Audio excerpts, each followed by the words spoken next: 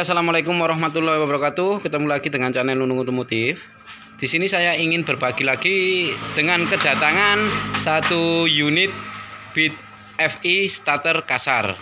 Dengan keluhan motor mogok tidak bisa dihidupkan. Ini sudah dari bengkel lah bos ya, jadi. Ya, Bos. Ya, ini dari bengkel dibawa ke sini ya sama orangnya karena pengerjaan nggak mari-mari nggak beres-beres katanya ya. Kemudian dibawa ke bengkel saya sudah bukaan. Kayak gini di samping kanan ini di bawah box. Aki itu ada kabel yang di jumper ya. Ada kabel ini kalau warnanya kuning strip hijau ya. Warnanya kuning strip hijau kalau dari pengalaman saya ini adalah kabel menuju starter ya. Kemudian yang hijau ini yang hijau ini menuju ke standar samping. Berarti antara standar samping sama starter. Ini ada jumperan lagi ya. Ini mungkin starternya nggak bisa. Nah di sini ntar kita akan standarkan saja apakah starternya tidak bisa ataukah cuma cetek-cetek saja. Ntar wis dipikirku ae wis iki ya. Ini akan kita standarkan saja karena sesuai standar pabrikan agar motor tidak ada kendala. Takutnya ECU nya mati ya. Itu kalau salah sambung bisa jadi ECU nya yang mati tapi di sini saya kedapatan saat kontak on ya. Saat kontak on. Tuh nggak ada pergerakan sama sekali di speedometer ya. Oke. Akinya ada apa enggak TFA mas yo TFA ya? Sampean masih apa tempo ya biasa ya? tempo ya mas? Yo, ayo, ya wis. oh ya yes oke wes tak nggak video sih mas. Yo, siap. Tak kunjungan ke saya nanti. siap siap. Oke. Kita cek kapasitas akinya apakah normal apa enggak ya. Soalnya saat kontak on ini kan nggak ada kelistrikan jalan. Aki ini mampus ya ya bos aki ini bos kontak on ya full pump nggak bunyi bos aki ini rip aki ini ki ono isinya apa no rip Iki. Kalau kopi. Oke. Oke, kalau menurut saya untuk sistem injeksi pastikan kalau pengecekan itu akinya normal dulu Mas ya. Ini sengaja saya jumper karena biar dapat suplai tegangan yang normal. Kalau kita akinya ini mati, memang pengecekan itu ya rada anu, rada sulit. Maksudnya sulit saat diagnosa pun nggak akan nyala ya. Oke. Coba kita kontak on. Indikator mil nyala beberapa detik mati berarti ECU sudah aktif ya. Pokoknya sampai nemoni motor mogok iki wis. Kontak on, indikator smart eh indikator mil ini nyala beberapa detik mati berarti normal. Dan ini ada kedipan piro, Bos? Coba sih kedipannya sih. Satu 12 injektor. 12 injektor. Nah, kalau 12 volt 12 injektor otomatis full pump nggak dengung, Bos. Iki dengung apa Bos? Kalau Bos. Nah, ya cek iki, Bos. Injektornya, Bos. Ya. Ecu bos. Ecu, Bos. Ecu. Saya pun benar Mas ya. Sinyal mas saya ya. Anu 12 volt sih, Bos. Aku. Oke, siap, Bos. Oke. Boleh, assalamualaikum. Amin, Waalaikumsalam. Kasih mbak ya. Siap, Mas. Oke. Gak ada bos. Saat kontak on, Gak ada. oh 12 volt ada di injektor. Bos, mana bos? Ya wis. Loh, hilang, Bos. Ono ya? No. 12 12 eh apa suplai di soket injektor itu 12 voltnya sudah ada ready berarti sekarang cek sinyal masa bos ya oke apakah ECU nya yang error atau mati ataukah sinyal masanya yang hilang sinyal masa hilang ya ECU nya berarti error Oh iya, mutra bos. Cek. Cepat.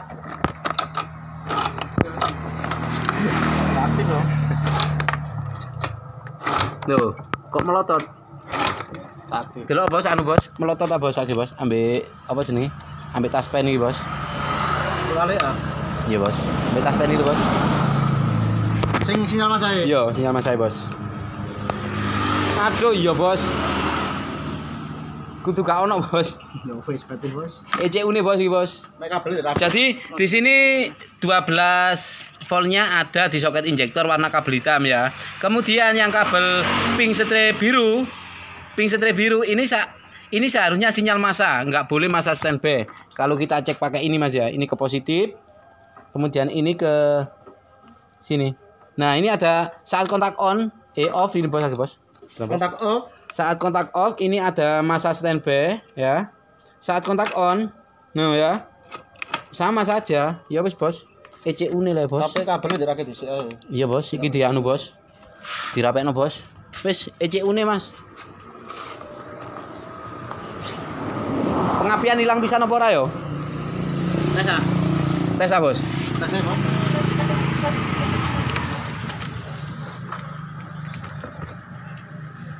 Kamu tiga depan 12 ya? Iya bos kan iki gak ono anu ya bos. Gak ono apa jenenge? Sinyal masa kan gak ono nang injektor. Jadi kedipan 12 injektor bermasalah. Iki mungkin wis nggak usah apa jenenge? Nggak scanner canggih kalau kayak gini mas. Cek ini apa sih bos? Iki ya. Iki wis digenti bos kabel bos. Koile bos. Masuk. Nah iki. Lupa udah ganti bos. Ya. Coba sih iki standby bisa nomor ora iki. Kontak. Iya. Set akine. Oh aman bos iki bos. Aman ah. Sih sinyal masa sih. Sinyal masa. Ngetrapi. Rapi bos yo. Wis, Ono bos. ono. Kontak on. Indikator mil nyala. Kemudian Nah, enggak metu. Sinyal masa enggak metu masih Mas ya. Seharusnya ada sinyal masa. Ada koil. Wis gak ono, Bos. Wis kabel sampean anu wis iku sing bekasi teko wonge lho. Bekasi teko bengkel di buak tak jokono ECU. Di sini kita lepas ECU yang punya dengan kode K46 ya, dengan kode K46 kemudian kita kasih yang baru kontak on, pastikan indikator mil nyala. Nah, kemudian kita cek sinyal masa injektor, Bos. Bos tak bos. Sinyal masa injektor. Tempelkan tusuk ke kabel pink strip biru ya di sini. Soket injektornya yang pengecekan ada namanya sinyal masa dari modul. Oke. Kita cek. Yo, yo, mari ki. Oh, sinyal masa. Kabel pink strip biru. Nah. Diengkol kudu kedip iki yo. Diengkol kudu kedip. Nah, iki lho, Mas. Nah, iki kedip. Anu apa apa jenenge? Di starter kena Bos. Tak iso. Kena. Saya benak nol. Is pokok. Nah, kita pen mang. Ora iso, Bos. Oh, gak iso ya. Nah, iki kedip ya, wis. Pokoke kedip lampu iki. Eng eng engkol Bos tak anu Bos. Ati kele. Nah, iki yo. Meneng. Bisa. Cek terus. Nah, iki kedip lho. Tuh, Bos, kedip, Bos. Ini kok coba. Oke. Kita hidupkan coba motornya.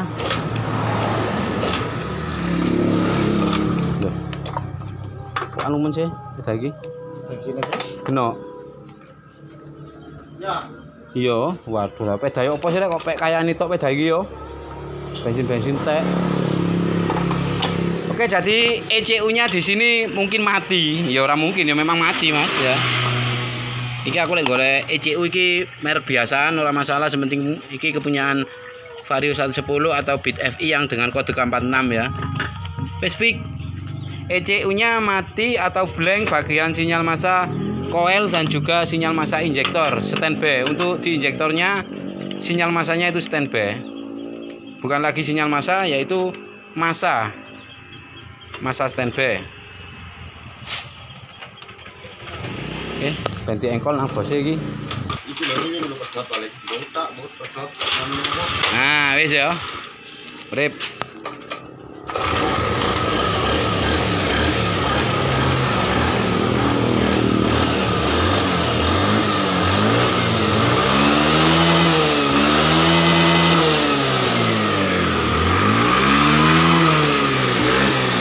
Oh, bojo.